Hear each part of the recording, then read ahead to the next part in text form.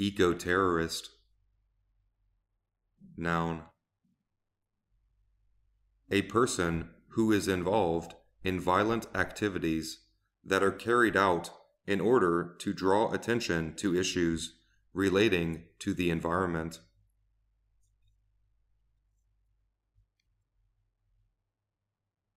A person who carries out deliberate damage to the environment in order to draw attention to a political issue.